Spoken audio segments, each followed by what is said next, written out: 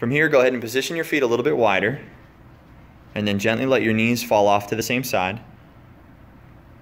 And you're going to settle there for 10, 9, 8, 7, 6, 5, 4, 3, 2, 1. Other side now, slowly. Same thing, settle. 10, 9, 8, 7, 6, 5, 4. Good with the head. Three, two, one. Back over the other way.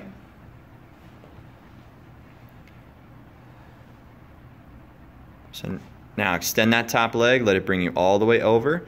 And just like you were doing before, lean to the right. Try to keep that right shoulder down, look to the right. Breathe, and just let gravity take the foot as close to the ground or the bed as possible. Turn that right palm flat to the ground. Hold for 10, 9, breathe, 8, 7, 6, 5, 4, 3, 2, and good deal.